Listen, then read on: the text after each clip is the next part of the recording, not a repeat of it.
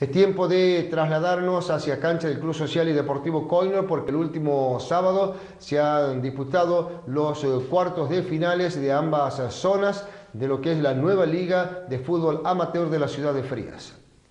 En cancha del Club Social y Deportivo Coino se ha disputado eh, los cuartos de final del sexto torneo denominado Miguel Ketupi Patire de la nueva liga amateur de fútbol de nuestra ciudad. Los resultados de estos octavos de final Tornería Pineda empató en un tanto con Panificadora la deseada, ganando el equipo de Tornería Pineda por ventaja deportiva. Los, tres, los amigos derrotaron por tres tantos contra uno los veteranos de Dicaño. Atlético Quirós derrotó por dos tantos contra uno los veteranos de Coinor. La Casa del Plomero empató en dos tantos con los Canarios, ganando el equipo de la Casa del Plomero por ventaja deportiva. M&M Deportes goleó por 5 a 0 a Estancia El Duende. Maxi Kiosco Nacho derrotó por un tanto contra cero a la mexicana. El Deportivo Choya empató en dos tantos con Panificadora Suecia, ganando la eh, ventaja por ventaja deportiva el equipo choyano. Y a última hora, Mercadito Fernando, por la mínima diferencia, derrotó a Carnicería Los Tres Hermanos.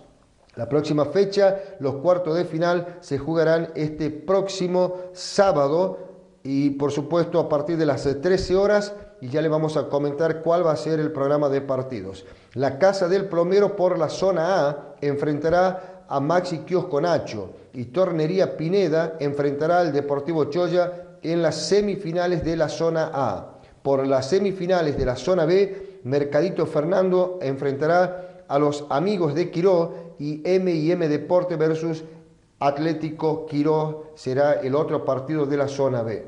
En estos juegos, vamos a recordar, en los cuartos de final no hay ventaja deportiva. En caso de empate, se define por penales, los mismos para semifinales y en la final.